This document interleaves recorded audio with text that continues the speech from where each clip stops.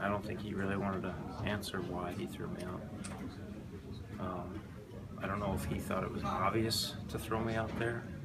Um, if he does think that, then I think he should reevaluate the situation. But um, I understand the circumstances, but he's got to understand my circumstances too.